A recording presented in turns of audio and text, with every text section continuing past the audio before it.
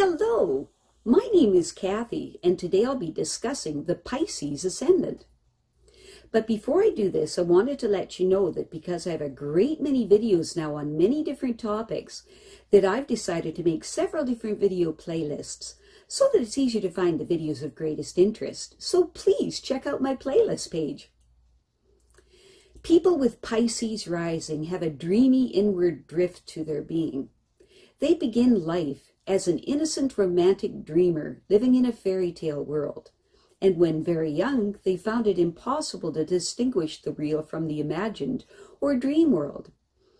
These people took a long time in becoming aware of the boundaries between the inner and outer worlds and used their inner world as a safe, beautiful, secluded retreat from difficult realities of their outer lives. These people are emotionally open and sensitive, and they can feel other people's feelings as powerful as they feel their own. When positively expressed, the Pisces rising person has a deep compassion for the suffering of others, and they want to help heal them. When negatively, negatively expressed, these people are vulnerable to others' attitudes, particularly to criticisms and anxious to avoid being pinned down. To protect themselves, they act out the roles that others seem to want of them, building a camouflage to hide behind, using their subtle impressionability to take on their local colors, so to speak, kind of like a chameleon changing colors to blend in with their environment. These people can be incredible actors or actresses since they pick up tiny hints from others and react with delicately pitched responses that are geared to receive a positive response from others. Pisces rising people notice how situations, relationships, and things decay and dissolve.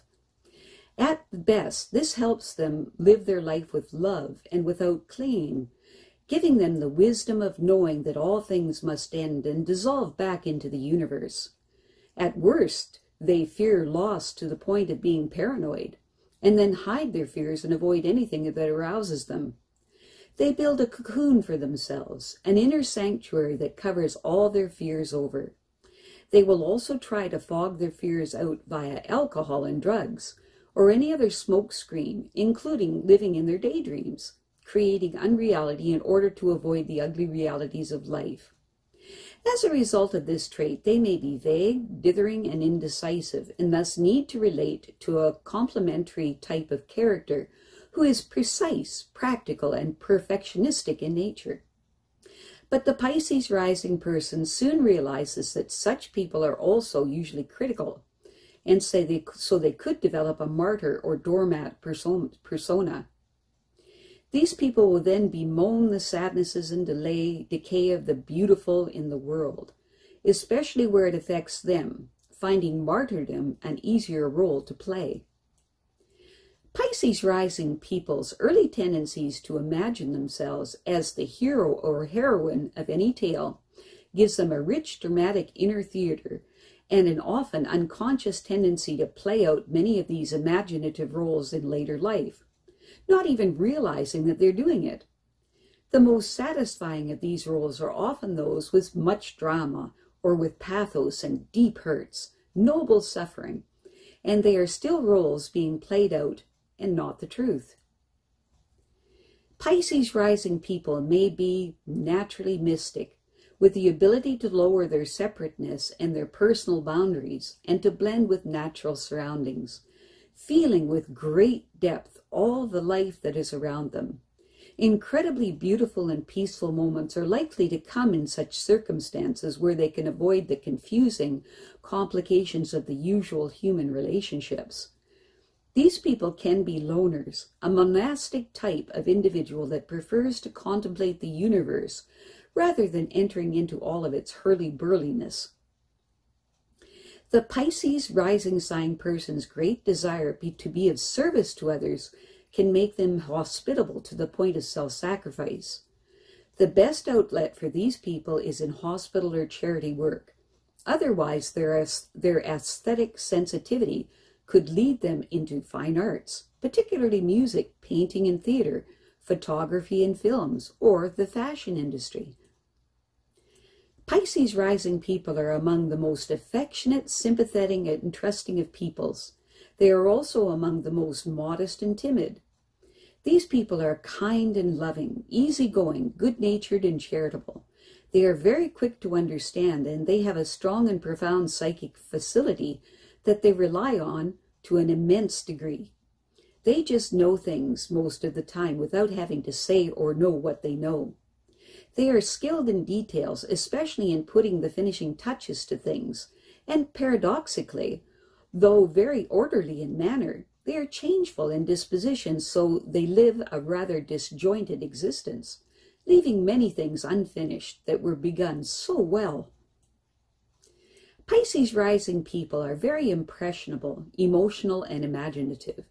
The intensity of their idealism can be quite painful to them at times, especially when they tune into others' sufferings and sorrows. They have a highly developed intuitive and inspirational, inspirational facility and are often te- telepathic and mediumistic. Pisces rising people are courteous, confident, affable, and hospitable. They don't like to push themselves forward. They lack confidence and self esteem. At times, they can become over anxious, indecisive, and disheartened. But in an emergency, their uncertainty seems to fall away, re- revealing a resolute, determined, and very effective person. Pisces rising people are extremely creative if they can discover the correct medium for their self expression. They love music, good literature, and all that is intrinsically beautiful. Their tastes are refined and at times impeccably subtle. They often write exquisite poetry, and their daydreams are very real to them and are an important part of their psychic processes. These people are usually not very body conscious and can compensate for this by directing their vital energies into physical accomplishments, by becoming an excellent dancer, gymnast or teacher, or yoga or other disciplined postures and exercises.